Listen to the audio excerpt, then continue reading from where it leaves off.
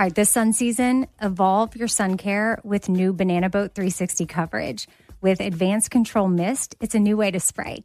It's an all new bottle for an all new mist experience that smells great and is incredibly light on your skin. You can even customize your spray. Like to cover targeted areas, you just tap the trigger lightly, or you can pull the trigger fully for a long, continuous spray, ensuring long lasting banana boat protection. Plus, it's refillable from sweat resistant sport formula to kids SPF 50 plus.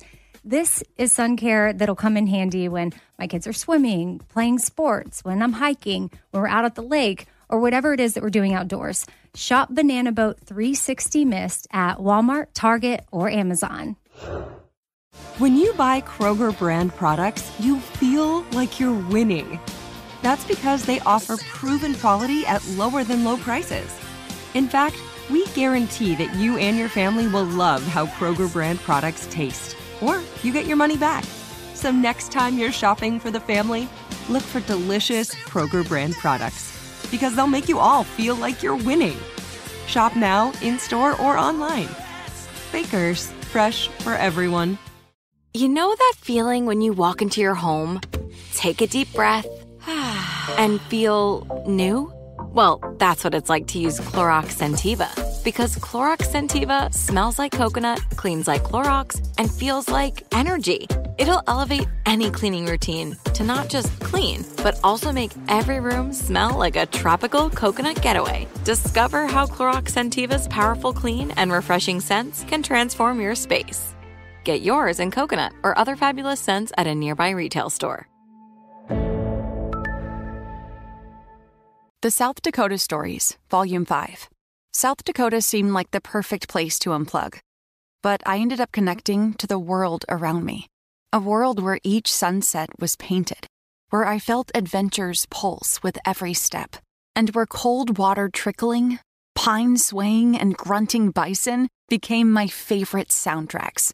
I just wish I didn't have to leave. There's so much South Dakota, so little time. I won't let my body outweigh, outweigh everything that I'm made of. Won't spend my life trying to change. I'm learning to love who I am. I am strong, I feel free. I know every part of me is beautiful. And I will always outweigh. If you feel it, put your hands in the air. Show some love to the mirror while you're there. Let's take it one day at a time. Cause you and I outweigh. Happy Saturday, Outweigh fam. Amy and Lisa here. And I, Amy, am going to be bringing Lisa. Say hey, Lisa. Hello. The question for today's topic, and it's something that just popped in my head the other day. And I figure if it pops in my head, it must be popping into other people's heads. And for me, I feel like I have certain behaviors that I'm doing that are simply me taking care of myself. But then I think back to when I had really disordered behaviors when it came to food and exercise. And, you know, some fell into that, yes, eating disorder category, but disordered eating behaviors, however you want to define it. And maybe Lisa, you can help us with that. But I just am like, whoa, how do you know if you're trying to take care of yourself and feel like you're doing something quote unquote healthy slash good for your body, trying to take care of your insides? And by healthy, I mean actual like health and well being of your body. Or if you're participating in disordered behaviors. Does that make sense? It makes so much sense. And I think that's the area that a lot of people are trying to figure out and also finding themselves kind of in a state of, well, it started out from a good place of I want to take care of myself. And now I found myself here in this place where I don't like that I can't participate in life the way that I used to be able to, but I don't know how to scale back while also still prioritizing my health and well being and all those things. So, what advice or suggestions do you have for people who might be swimming in this water or navigating Yeah. this territory and trying to differentiate what's what? I think it's a great question, and we're going to go through a bunch of questions that you could ask yourself to really kind of figure out what land am I living in? And I think even just taking a scan right now of yourself and just really saying, is what I'm doing enjoyable and feel good for my body? I think that's a good question to just start asking yourself because many people will probably find themselves really, if they're honestly answering, saying, okay, for a while it did feel good, but now I'm at this place where I don't even feel like myself anymore. My thoughts are consumed by food. I am constantly feeling guilty. I'm planning. I can't just have a sporadic girls' night out without reviewing a menu. And all those sorts of thoughts are kind of creeping right in. Before we get to the list, I just want to really kind of set the tone here that this is a lot to untangle because weight and health and the changes we make to our weight and our health are really intertangled topics. that are kind of all meshed together when we talk about them.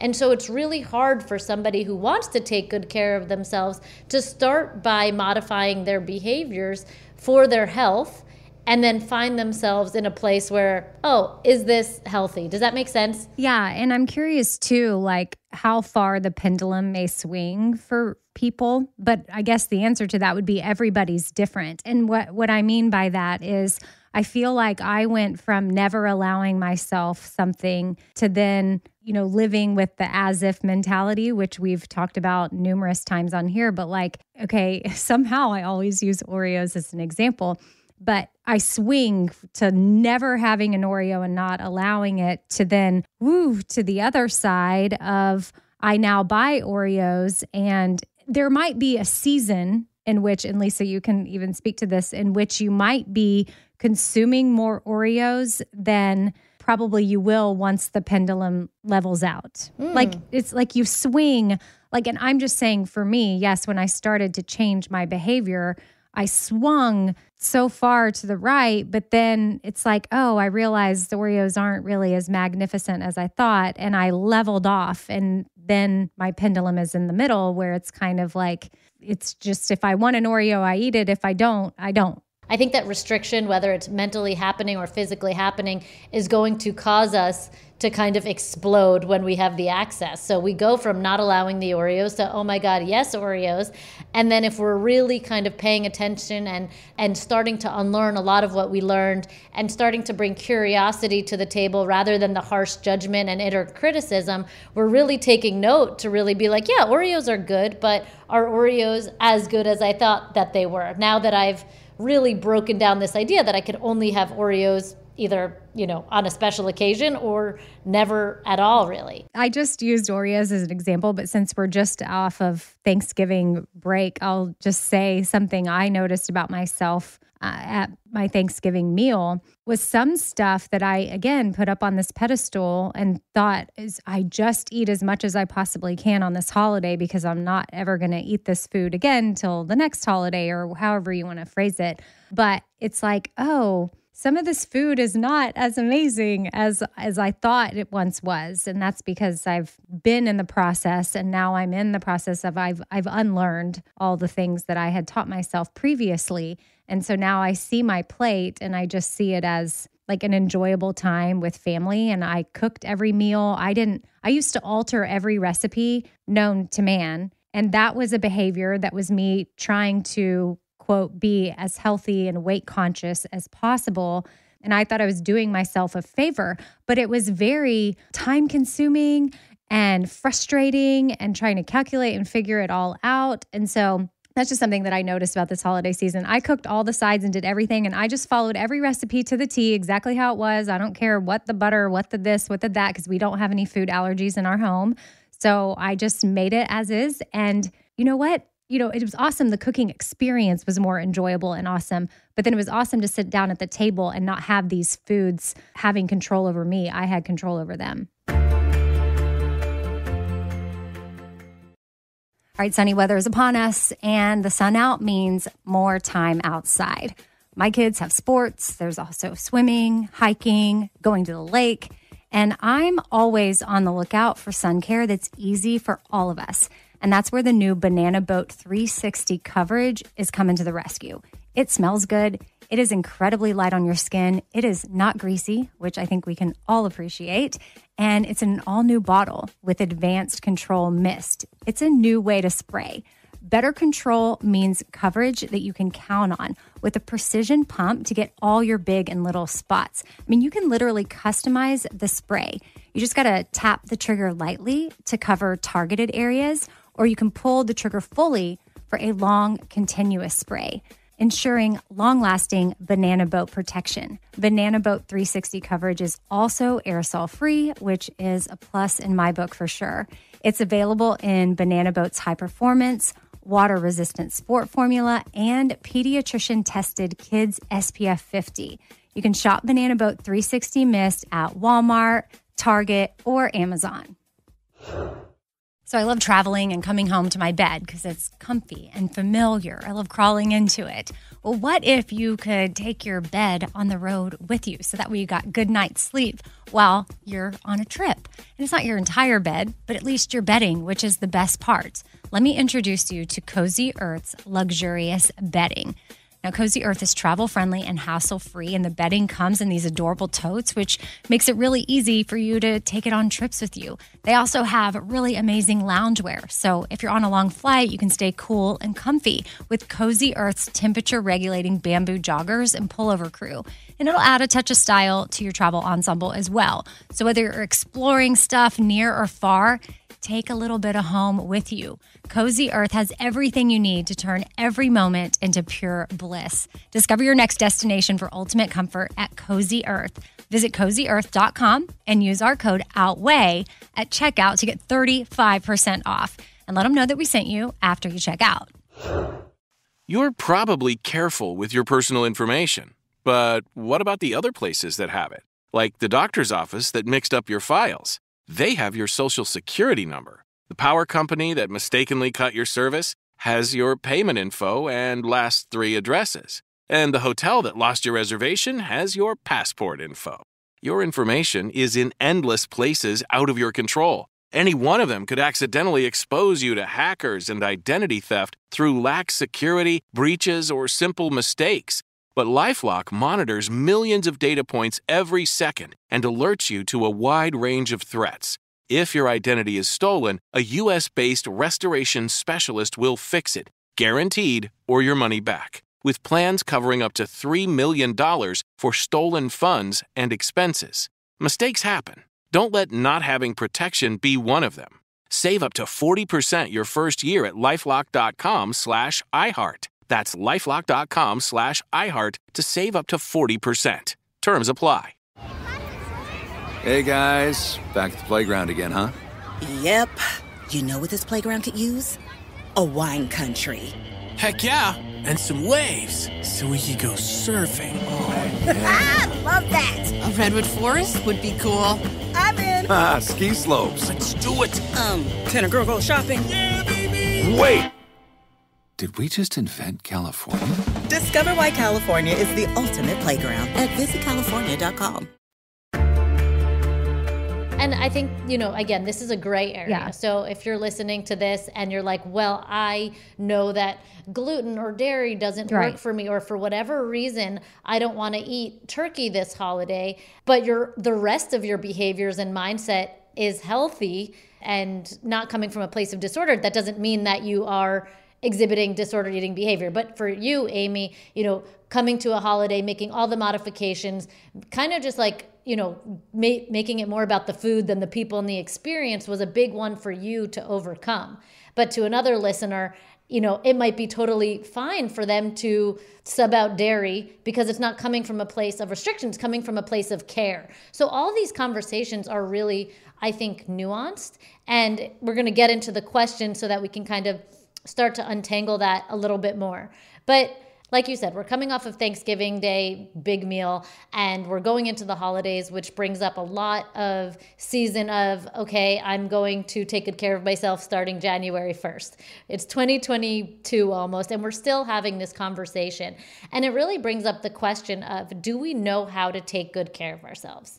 Like, what does that mean to take good care of ourselves? Has this been modeled by our parents or caregivers? Has our pediatrician, when we were younger, sat down and really talked to us about what health and wellness is? Have our doctors in our lives spoken to us about how to take good care of ourselves or our teachers outside of the topic of just lose weight? And I want to just frame this conversation like this because I think so many of us don't know how to take care of ourselves. And therefore, we fall victim to the one way that we talk about health universally, which is in the form of weight loss or instilling fear that weight gain means something negative for our health. So, for all of our listeners here, just like take a deep breath, relax, and really listen to this conversation from a place of you not judging yourself, you not trying to diagnose yourself of having an eating disorder or disordered eating, but rather from a place of, I want to feel really well. I want to be a person who feels well and models a good behavior for those around me. And how can I do that starting with myself? So, the questions that we want to kind of break into today is first of all, some of these questions are like very specific, some are a little bit more macro and might involve more further dissection when you're not listening to this episode. But the first one is what's your intent behind the choice that you're making? So, is there a deep love for yourself and a desire to want to take care of your well being behind the choice? Or is that a fear of what if you don't do that. So let's just bring the, you know, you said Amy for you, like you you allowed yourself to have foods like butter cooked into your let's say your your spinach, right? Maybe you made creamed spinach this year. Previously, was taking the butter out a form of I want to take good care of myself or was it coming from a place of fear and restriction? Formerly fear and restriction. right. And I think that, like, underneath all of these things, whether it's working out, are we moving our body from a place of love and wanting to take good care and lubricate our joints? Or even after a holiday meal, we might feel sluggish, and moving our body might be a nice way to connect back to your body after spending time with all of your loved ones who might bring in a little bit of chaos. But the question again here is are you doing it to burn off all the food, or are you doing it because it's going to feel good inside your own body? And so it's really hard to kind of really say that like working out after a big meal like Thanksgiving or Christmas meal is a bad thing or moving your body is a bad thing, right? That's not disordered necessarily. It's only if you consider the intent. Going back to your example of cooking with butter, another listener might say, I really don't feel well when I have mashed potatoes. And I love when I make my own mashed potatoes that use a butter sub or whatever it is, right? Can they do that from a place of love and have that be a healthy behavior where your healthy behavior is cooking them normally? And it all goes back to that intent. What is your intent? And what is your fear Amy, you know, all of us, what is your fear really about? And I think for a lot of people, there's this idea that we have to look a certain way. It's very deep down. And that brings up a fear of worthiness, a sense of belonging. And that's not all coming to the surface when we're making choices about food or exercise. We're just stuck in the hamster wheel of this is what we have to do, and I am bad, so I did it. But if we could dive deeper into the fear or the belief, I think then we could bring some tenderness to it. Some, yes, of course, I want to be loved and I want to feel worthy, but how is this interrupting my life through this kind of weird modified behavior that I'm partaking in?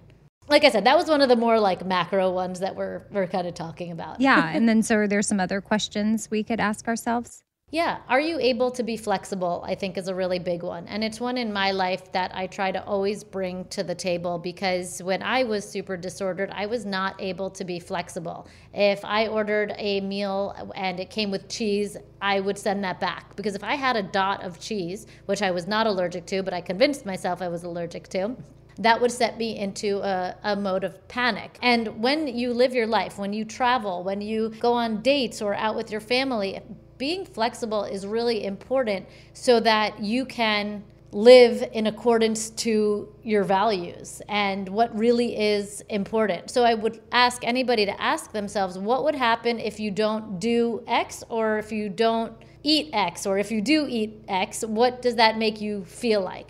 So, you know, for for working out, if you miss a workout or even a yoga class, something less intense, are you able to be okay with that, knowing that there are other ways to take care of your body and that one change in your routine isn't going to affect your well being unless you mentally allow it to?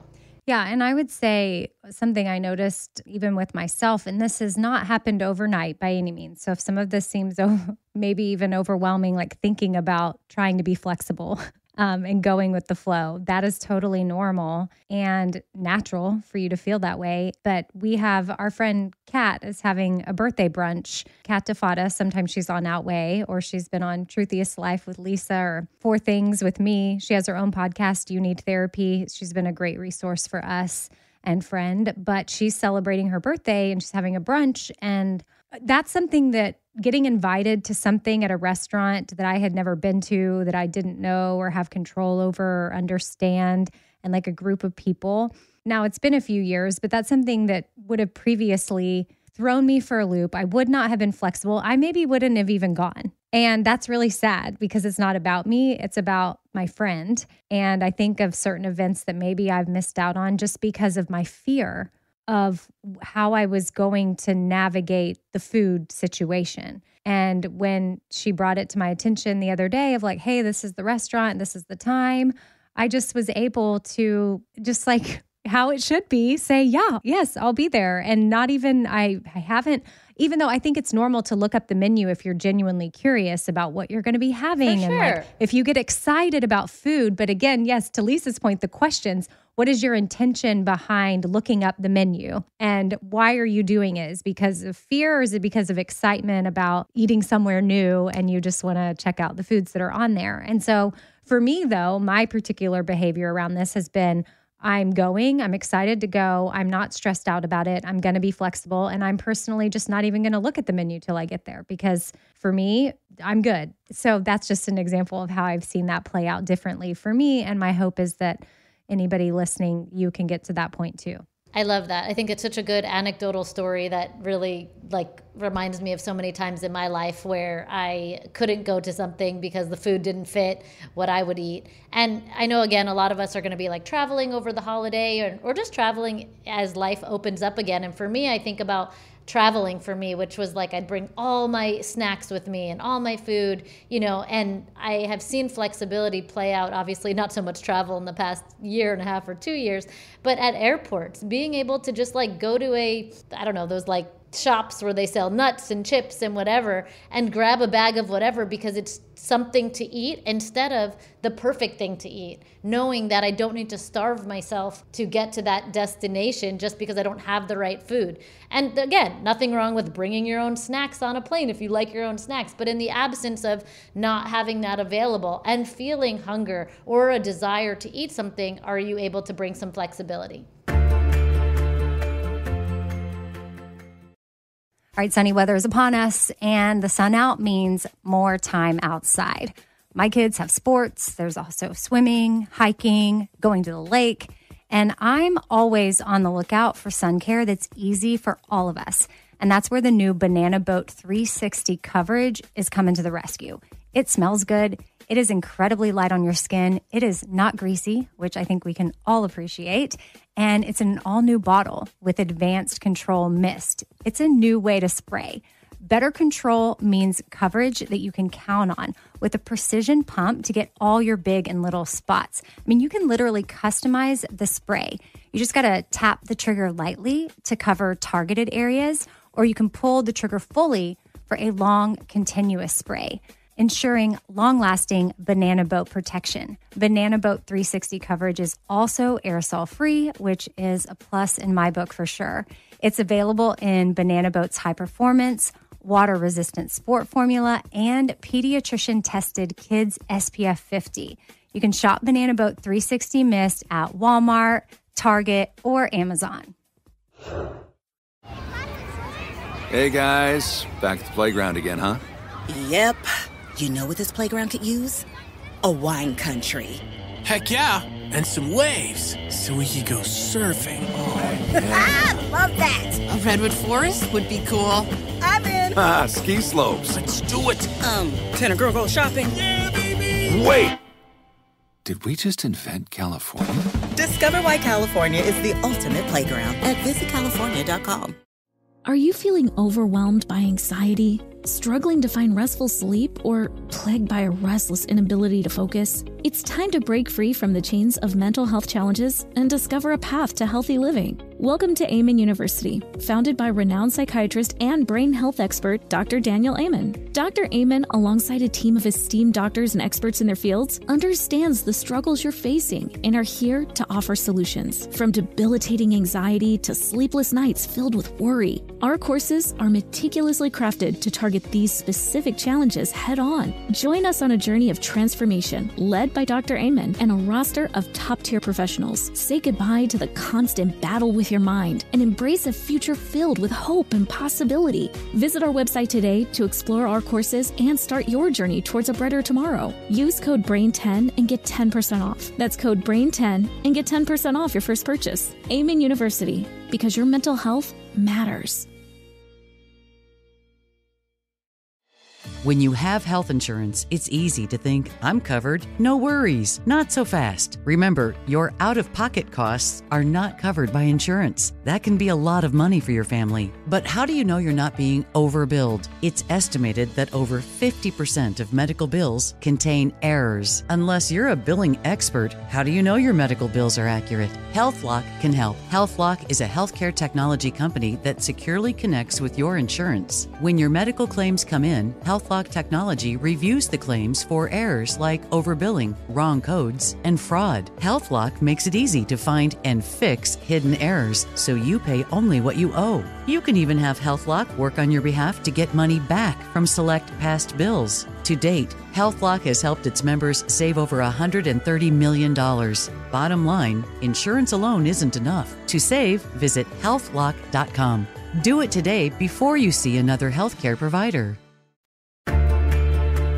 I did mention your values, so I just want to circle back to one of those more macro questions, which is something, Amy, you and I have spoken about a lot on the podcast, which is clarifying your values. If you don't know what you value, what you want out of your life, it's going to be really hard to make choices that reflect who you want to be. And I do this exercise a few times a year because I'm always re-clarifying what I'm valuing and bringing it to the forefront of my mind so that I can continue to make choices from a place of who do I want to be? So, you know, for you, Amy, being a good friend to Kat is clearly very important. If you were starting to have those disordered eating thoughts of, oh, well, I'm going to this restaurant, they have nothing on there that looks like something that I'd eat, would you be able to say, well, what do I value? I value being a good friend. I'm just using this as an example.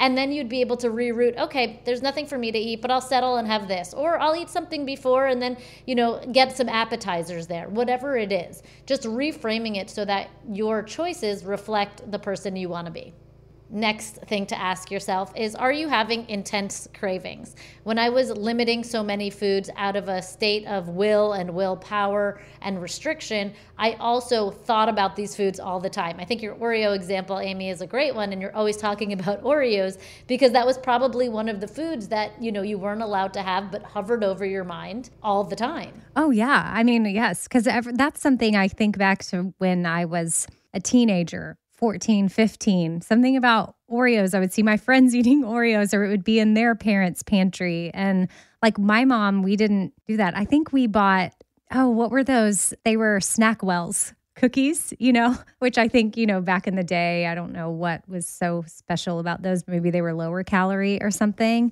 But I remember stocking up on those. But of course, I would eat like you know, 10 SnackWells. So I might as well just have eaten a dang Oreo, but you know.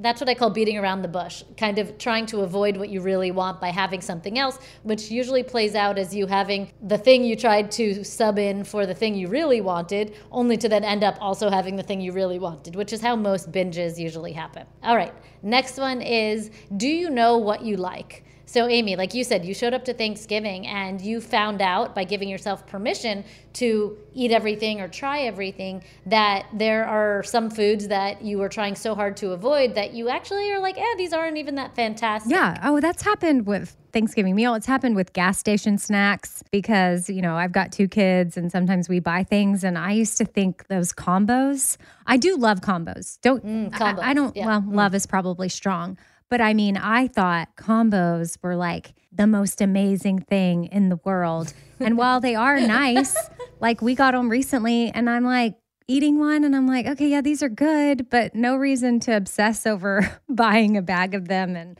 you know, not trusting myself around them. Now I think I could eat a few and not look at a combo for several months.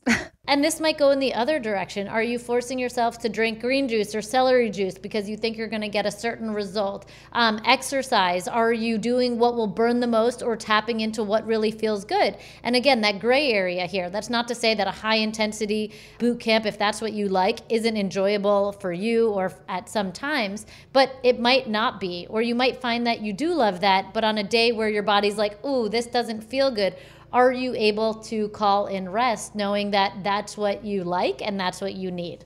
So start taking inventory of what feels good for you food, exercise, anything wellness wise, and tap into that every step of the way. Next thing I want you to ask yourself is Does the scale impact your health and wellness choices?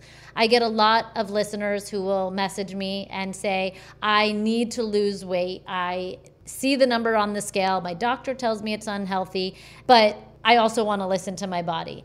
And I think that those things can all be true. You can want to lose weight if you're not feeling physically good inside of your body.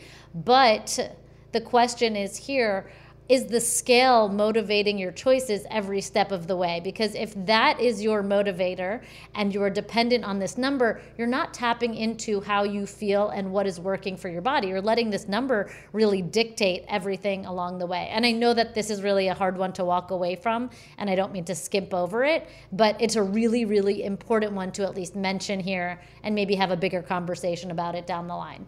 Next one is what percentage of your thoughts are about food? Now, we have to eat. It's important. It's helpful if we meal prep for a lot of our lives. It's not that we should never be thinking about food or that thinking about it in advance is a bad thing but what percentage of those thoughts are consumed by thoughts about food? If you're in the 60, 70, 80, 90% here, or even 100%, which is how I knew that I had disordered eating, that's really a not fun place to live because you're not living in line with your values, you're not having fun with your friends, you're not living life, you're consumed with thoughts about food. I would lose sleep over food. Um, I mean, it was it was just a constant cycle of trying to ward off hunger to only find myself completely um, stuffed and ruminating and feeling guilty and coming up with something to counteract what I had done damage wise. Where the cycle was just it enveloped me like I was swallowed whole by what started out as I want to be quote unquote healthy. Yeah, I'm right there with you. Like I was at 100% for sure.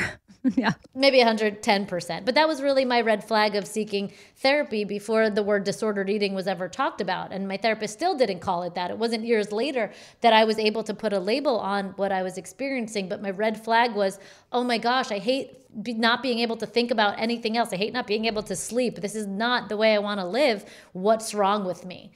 And then the last thing that I want everybody to really think about here is what does the voice inside your head sound like? When you hear that voice inside of your head that's that's telling you to eat the Oreo or not eat the Oreo, what does it sound like?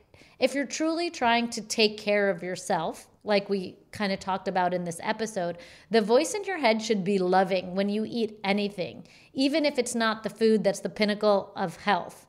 But if it's starting to tell you you shouldn't have that or you don't deserve that or you always F up, like here you go doing it again as you walk into the pantry and reach for the Oreo, I think it's time to kind of take a step back and realize that you're not really taking care of yourself. It's this guise of trying to take good care of yourself. Yeah, I think that that's important to remember. And also, too, we've talked about macros and counting macros like your carbs, your fat your protein. And for me, that was a disordered eating red flag because I thought about that so much and it consumed me. This is another thing that made me even think of this original question of what is the how do you how can you tell the difference of taking care of yourself and disordered behaviors because knowing how much maybe protein you think your body might you know function best at and carbs like knowing that amount and having being able to look at your plate and think like oh maybe I haven't given myself any, you know, dark greens lately, or listening to your body and knowing, like, oh,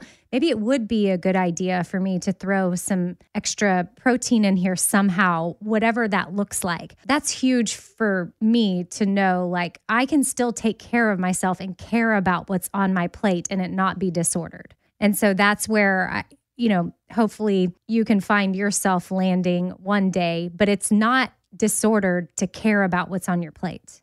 Mm, no, and it's also not a mandatory thing that you need to do. Right. But for those who are trying to take care of your body, and you know, I think Amy, you're familiar with my modern mindful eating philosophy, which really brings food to the forefront of learning about how it can impact you in a positive way rather than a negative way so that you can connect with food, your body, and make food choices in a way that is supporting your total well being every step of the way. Awesome. Okay, well, we hope this episode is helpful for so many of you. It definitely helps me still, even in recovery, to just have these conversations and remind myself. And it really is like a, new neural pathway you're trying to build. You know, it's going to take repetition. And so we hope you'll join us every Saturday. We're putting up a new episode. You can even send us an email, hello at outweighpodcast.com, and you can find us on socials. Lisa is at Lisa Hayim, H A Y I M and I am Radio Amy. And I would say definitely Lisa's a good follow and her resources, especially with Fork the Noise and her different programs. Um, if you're looking to dig a little bit further, you can find her contact info on Instagram as well. And uh, yeah, we'll see you next Saturday. Bye.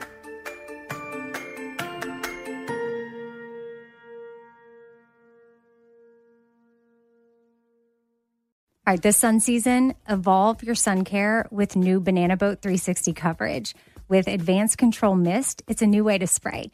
It's an all new bottle for an all new mist experience that smells great and is incredibly light on your skin. You can even customize your spray.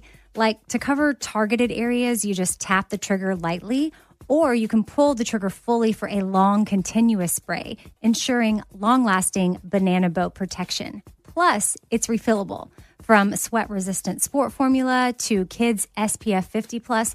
This is sun care that'll come in handy when my kids are swimming, playing sports, when I'm hiking, when we're out at the lake, or whatever it is that we're doing outdoors. Shop Banana Boat 360 Mist at Walmart, Target, or Amazon. The South Dakota Stories, Volume 5. South Dakota seemed like the perfect place to unplug. But I ended up connecting to the world around me. A world where each sunset was painted, where I felt adventure's pulse with every step, and where cold water trickling, pine swaying, and grunting bison became my favorite soundtracks. I just wish I didn't have to leave. There's so much South Dakota, so little time. Are you feeling overwhelmed by anxiety, struggling to find restful sleep, or plagued by a restless inability to focus? It's time to break free from the chains of mental health challenges and discover a path to healthy living. Welcome to Amen University, founded by renowned psychiatrist and brain health expert Dr. Daniel Amen. Dr. Amen, alongside a team of esteemed doctors and experts in their fields, understands the struggles you're facing and are here to offer solutions. From debilitating anxiety to sleepless nights filled with worry, our courses are meticulously crafted to target these specific challenges head on. Join us on a journey of transformation led by Dr. Amen and a roster of top tier professionals. Say goodbye to the constant battle with your mind and embrace a future filled with hope and possibility. Visit our website today to explore our courses and start your journey towards a brighter tomorrow. Use code BRAIN10 and get 10% off. That's code BRAIN10 and get 10% off your first purchase. Amen University, because your mental health matters. Hey, it's Bobby Bones. Are you looking to build this year? If so, there is no better time than right now to start planning and to get your spot on the construction schedule. If you need a garage, a stall barn, a storage for vehicles, RV, boat, collectibles, or even a, a shop for your farm, hobbies, or car restoration projects, visit mortonbuildings.com and start your construction process. With superior materials, craftsmanship, best in class warranty, Morton buildings are made to last for generations. At Morton, the difference is in the details. From their cutting edge innovations to their craftsmen in the field, they are dedicated to surpassing expectations. Their legacy of excellence spans more than 120 years, and Morton Buildings is 100% employee owned with more than a quarter million satisfied customers. That means they're the industry leader you can trust. When you choose Morton, you'll experience quality at every step of the building process, starting before the walls even go up. Visit mortonbuildings.com to get started today.